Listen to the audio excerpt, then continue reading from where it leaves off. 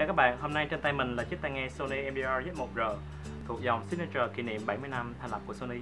Và sau đây mình sẽ cùng unboxing để xem trong này có gì.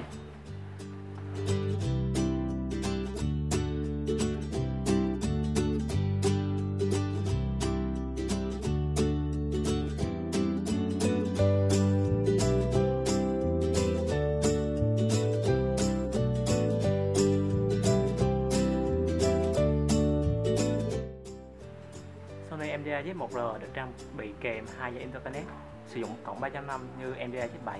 Các bạn có thể thấy đây là dây 3.5 thông thường.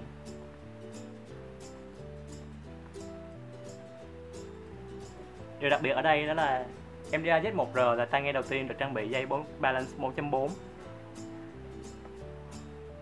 Các bạn có thể thấy sự khác biệt giữa cổng dây 3.5 và dây 4.4.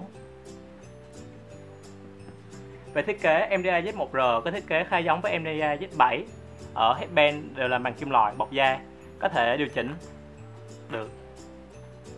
Và các bạn có thể thấy ở đây đó là MDA Z1R được làm ở Nhật Bản.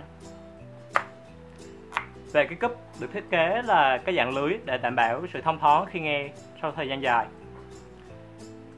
Tai nghe là closed headphone tuy nhiên vì thiết kế dạng lưới có sẽ lưới âm ra ngoài tương đối nhiều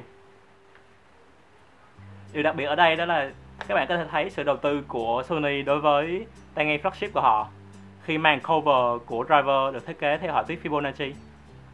Và với mức giá 40 triệu đồng ở Việt Nam, Sony MDA1R có thể được coi là người thừa kế của Sony Cochlea và R10 Cảm ơn các bạn đã theo dõi video.